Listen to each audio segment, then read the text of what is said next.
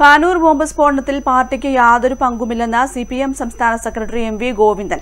ഒരിടത്തും സംഘർഷമുണ്ടാകരുത് എന്നതാണ് പാർട്ടി നിലപാട്. വലതുപക്ഷത്തിന്റെ മെഗാഫോണായി പ്രവർത്തിക്കുന്ന കേരളത്തിലെ ചില മാധ്യമങ്ങൾ പാർട്ടിക്കെതിരെ കള്ളപ്രചാരണം നടത്തുകയാണെന്നും അദ്ദേഹം പറഞ്ഞു.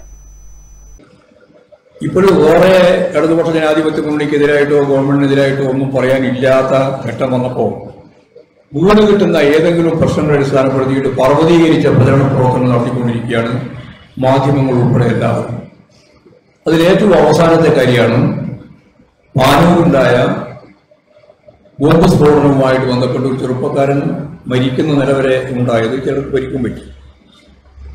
ഇത് സംബന്ധിച്ച് പാർട്ടി പാർട്ടിയുടെ നിലപാട് വ്യക്തമാക്കി.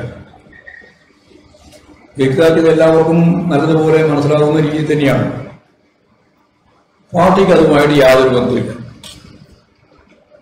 എന്തുകൊണ്ടാണ് പാർട്ടിക്ക് അതുമായി ബന്ധമില്ലാതിരിക്കുന്നത് എന്ന് സാമാന്യ ബുദ്ധിയുള്ള എല്ലാവർക്കും അറിയാം.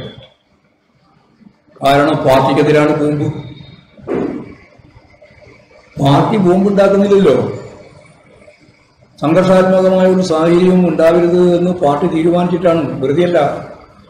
മരണം നടന്ന വീട് സന്ദർശിക്കുക എന്നത് സംസ്കാരത്തിന്റെ ഭാഗമാണ്. ഡിവൈഎഫ്ഇ പ്രവർത്തകർ ചേർന്നാണ് ബോംബ് സ്ഫോടനത്തിൽ പരിക്കേറ്റവരെ ആശുപത്രിയിൽ കൊണ്ടുപോയത്. അതിനെയാണ് തെറ്റായി വ്യാഖ്യാനിക്കുന്നത്. പാർട്ടി പ്രവർത്തകരെ ആക്രമിച്ച കേസിൽ പ്രതികളാണ് ബോംബ് നിർമ്മിച്ചവർ. രക്തസാക്ഷികളുടെ പട്ടിക പരിശോധിച്ചാൽ ആരാണ് കുറ്റവാളികളെന്ന് വ്യക്തമാകുമെന്നും എം വി ഗോവിന്ദൻ പറഞ്ഞു.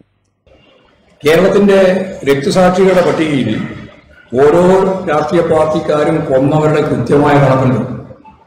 അതിൽ അറുന്നൂറ്റി തൊണ്ണൂറ്റി ഒന്ന് സദാക്കളിയാണ് കൊന്നത് അറുന്നൂറ്റി തൊണ്ണൂറ്റി ഒന്ന്. മറ്റേ അവസാനത്തെ സത്യനാരായണൻ കൂടി കൂടുമ്പോൾ അറുന്നൂറ്റി തൊണ്ണൂറ്റി രണ്ട്.